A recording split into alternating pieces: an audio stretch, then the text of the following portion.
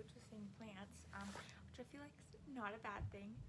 But this one is from Gito's Plants and Exotics. I made the mistake of joining a Facebook group that sells plants and it's been uh, an empty wallet since then.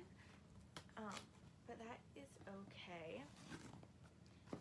Let's get into this. Put the knife away. Okay.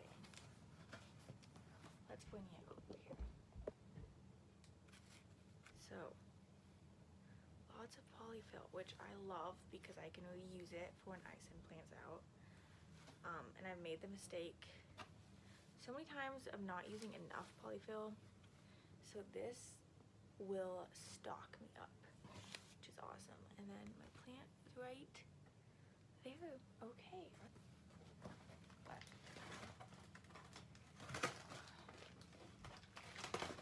oh, I'm so nervous. It's already looking a little smaller than I thought, but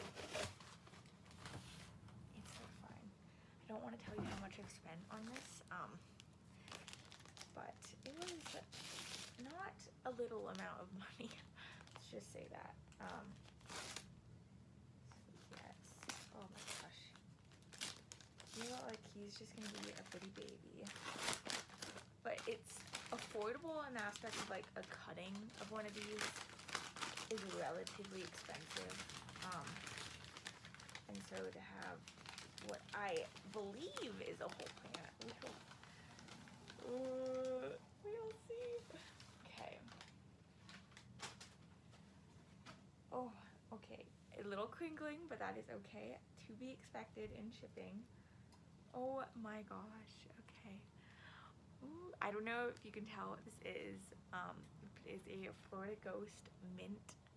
Um, I have wanted a Florida Ghost ever since I listened to the podcast episode Plant Daddy where they talked about how they had a Florida, I think they had a Florida Beauty, um, or it might have been a Florida, I think it was a Florida Ghost actually. Um, and they were just saying how much they love it and I looked into it and it's just like this is gonna be the perfect plant like fast growing easy care who what what else could you want in a plant um,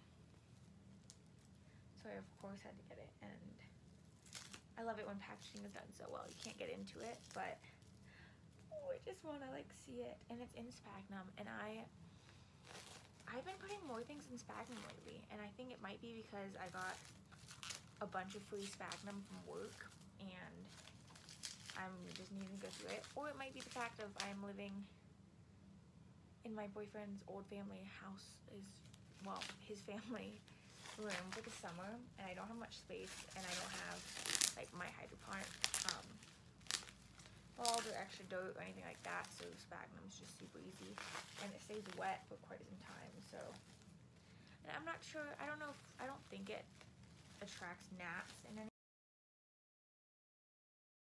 way. Um, so it's been pretty good for that. At least I haven't had an issue with gnats.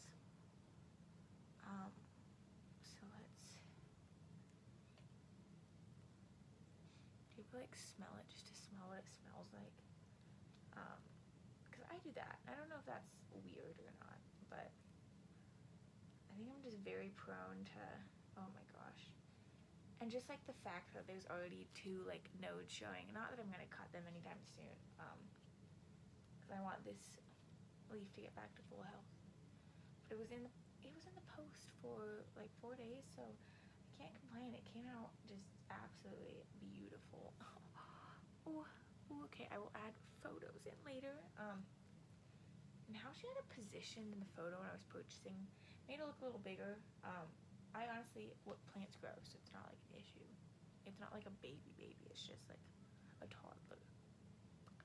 Um, but yeah, I will, I don't know if I want to link that Facebook group below because I don't know if I want anyone else discovering it.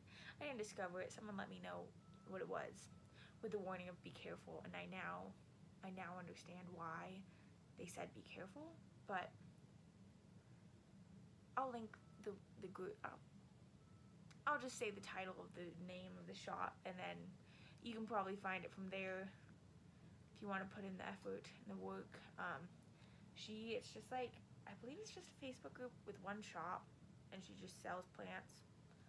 Um, and her shop is in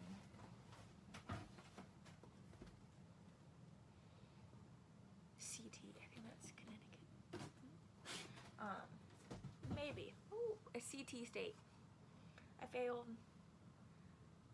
learning states in fifth grade, so that's as much effort as I can do there. So I'm gonna get this guy watered. He seems fine, but I'm just gonna water him just in case, because that might help. But signing off, I will photos at the end. I think I've said that already. Um, and I'll give you an update, probably at the end of this video as well, of in a couple days. Okay, bye!